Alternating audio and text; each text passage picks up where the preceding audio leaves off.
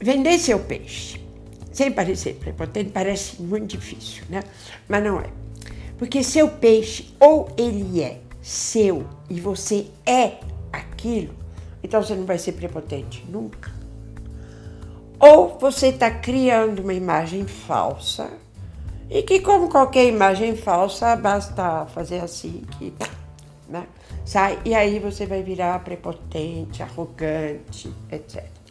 Porque ou a imagem que você passa, ou aquilo, o vender seu peixe, né? É verdadeiro, é uma verdade sua, é autêntico seu, são é, capacidades suas, é merecimento seu, aí você não vai ser prepotente, você vai ser. Né? A Gisele Bündchen não é prepotente, ela é Gisele Bündchen. Ela chegou lá, chegou lá. Teve um trabalho cão, teve.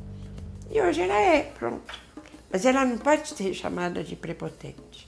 Mas uma garotinha qualquer que está começando e quer botar a banca, vai ser prepotente sem ter retaguarda para isso.